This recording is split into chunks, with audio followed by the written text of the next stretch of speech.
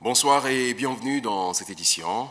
Avant de développer les titres, sachez que l'atelier de validation du rapport final du comité technique d'appui aux réformes institutionnelles ouvert hier après-midi euh, se poursuit. Durant cinq jours, les participants vont débattre sur cinq chapitres. Des membres du gouvernement, des élus du peuple, les leaders politiques et les représentants de la société civile étaient présents à la rencontre. Amanissa Kazina. C'est un document de 186 pages qui est soumis à l'approbation des participants en vue de sa validation. Il se résume en une phrase 70 actions pour modifier les institutions.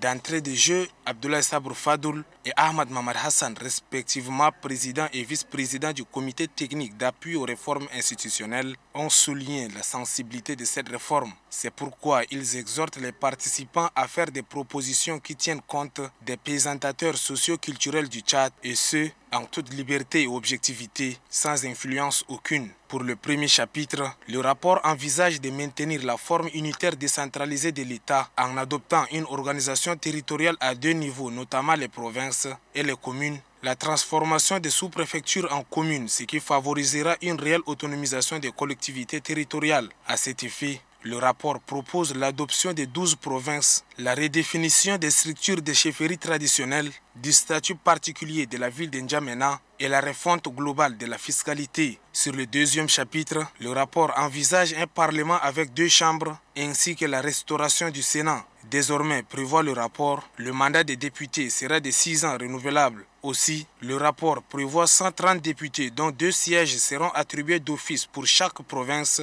et 48 sénateurs à raison de 4 sénateurs par province. Le troisième chapitre est la réforme judiciaire. À ce sujet, le rapport envisage la création d'une cour de répression économique et financière et le réaménagement de la haute cour de justice, ce qui permettra de sanctionner sévèrement les magistrats véreux. Autre chapitre évoqué et non le moindre est le réaménagement des grandes institutions de la République. Sur ce point, le rapport propose la suppression du Conseil économique, social et culturel et sollicite en place et lieu le Sénat la suppression du Collège de contrôle et de surveillance des revenus pétroliers au profit de la Cour des comptes et la suppression de la médiature au détriment de la Commission nationale des droits de l'homme. Le rapport évoque comme motif de suppression les limites affichées par ces institutions et les qualifie de budgétivores. Le dernier point pour ces deux jours de travaux est la promotion de la femme et de la jeunesse. Comme le rapport est soumis à l'appréciation des participants, ces derniers ont d'emblée salué le travail abattu par le comité et émettent toutefois quelques inquiétudes. Il s'agit du choix de certaines villes comme chef-lieu de province, du mandat des députés qu'ils trouvent exorbitant, de la nouvelle cartographie du Tchad et du rôle des chefferies traditionnelles. Un autre point qui a fait l'objet d'une discussion rompue est la question de la DIA. Beaucoup ont recommandé sa suppression et suggèrent la mise en application des dispositions sur la DIA en vigueur dans la Constitution. Les panélistes ont pris bonne note des suggestions et envisage retravailler le rapport sur les points évoqués dans les prochains jours.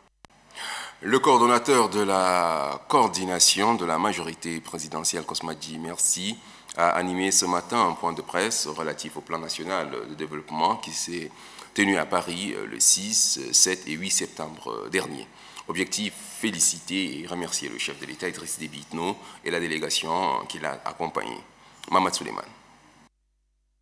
C'est ici le lieu de présenter les félicitations de la majorité présidentielle à son Excellence Idriss Déby Itno, président de la République du Tchad, chef de l'État, qui s'était investi personnellement pour rassurer les investisseurs des opportunités qui les attendaient au pays de Toumaï.